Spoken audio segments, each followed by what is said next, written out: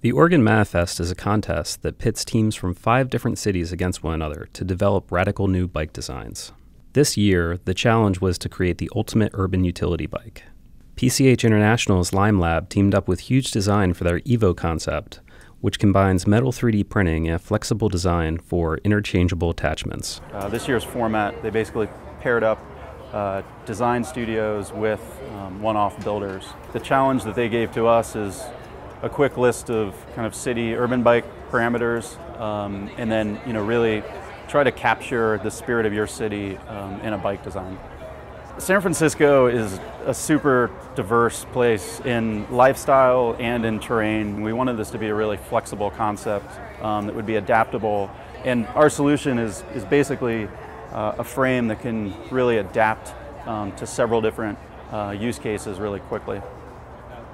My role on the project was um, basically doing a lot of the uh, mechanical design, um, specifically for the uh, connection points for the different attachments for the bicycle. We basically wanted to take um, the design of a sort of a bike plus all of the accessories that you would normally see on a bike that are designed as sort of aftermarket products um, that don't fit very well with the bike or that you know they end up looking like Frankenstein parts added to the bike and we wanted to approach that from the from the beginning and, and design a bike that was flexible enough that you could remove and you could attach and remove different um, different sort of accessories um, but you could still at the end of the day you could remove everything and just have a very clean looking bike frame. It was a really fun mechanical challenge. You know, it's not something you can solve with, with software or anything like that. So it was, it was fun to it was fun to approach it. But we ended up with a design that basically you slide in the rack and it, it detents in. So it, it clicks in and it won't come out, but it's still a little bit loose.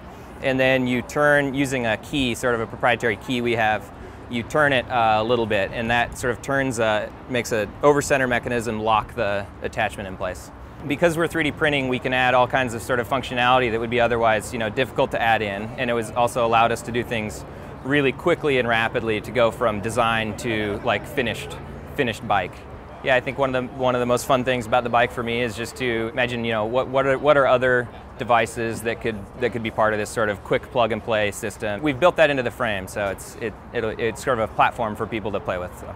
We designed the whole bike in CAD for months before we ever, ever even built one, and that just made it so much easier because the transition from CAD to real bicycle was really seamless. We got to cut straight pieces of chromoly tubing and weld them to 3D printed lugs. You know, direct to metal printing is not a real household kind of technology, so we kind of designed around this technology without having any real world experience with it, you know, and luckily it all worked out as planned as a bike builder, it it was a dream to get to work that way, and I I can see this becoming uh, as the technology gets less expensive. I can see this becoming something that uh, bike builders definitely adopt.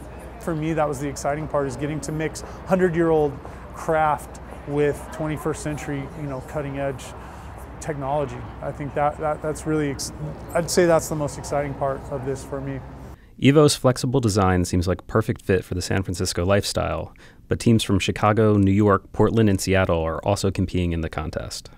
Check out their designs and vote for your favorite at the Oregon Manifest website.